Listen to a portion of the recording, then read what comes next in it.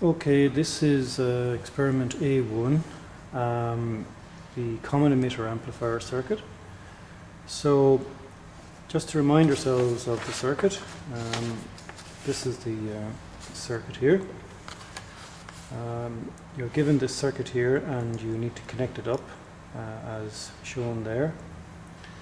So, when you connect up the circuit then, what you should see on the uh, oscilloscope is something like this. Um, this trace here on the oscilloscope is the input, and that's on channel 1 uh, of, the, of the scope. And you can see here that it measures about 2 volts uh, or thereabouts uh, peak to peak.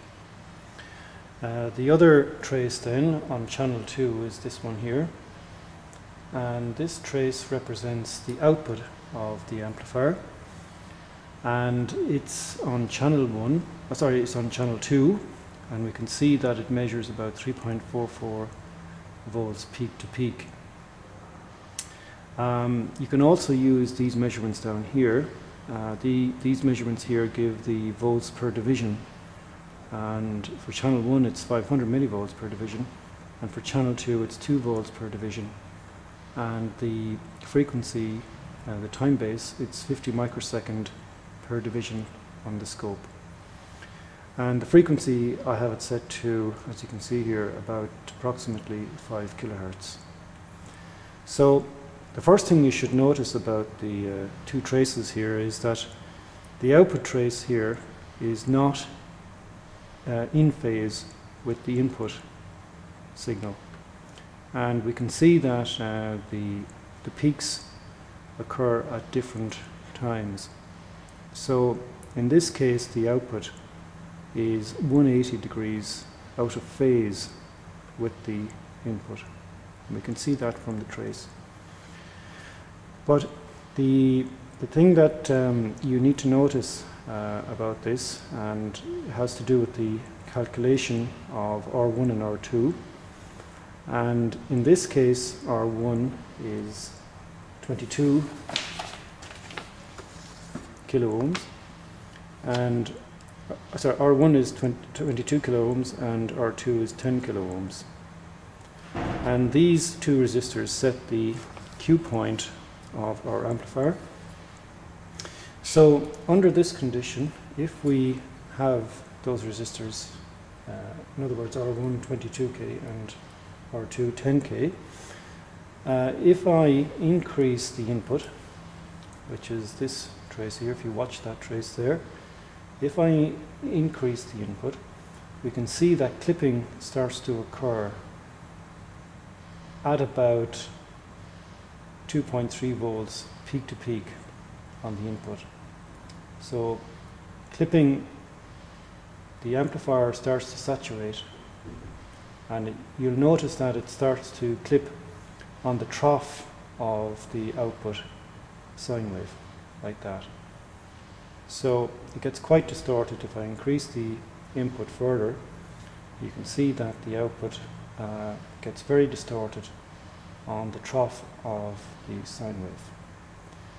So because it's not symmetrical, because we only get uh, clipping on the trough, it means that the Q point is not in the correct location.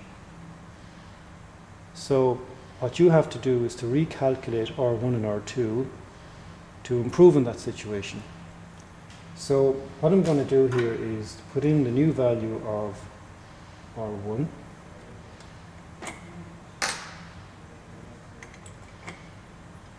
and we can see now what difference it makes.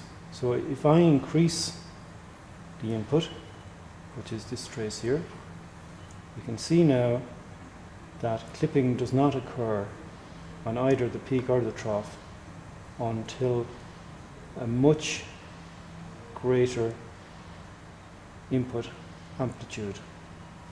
So we can see that uh, clipping now starts to occur at approximately 4.2 volts peak to peak on the input whereas in the previous one it was uh, approximately half of that.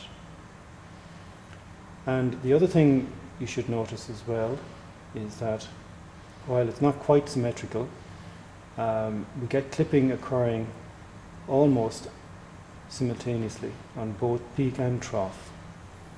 And that indicates that our Q point is approximately optimally uh, calculated on the load line. So that's what you should notice. The difference between the calculation for R1 and R2 and what difference, uh, the actual difference it makes on the output of the amplifier. Okay, so that's what that's experiment A1 using the um, transistor as the common emitter amplifier.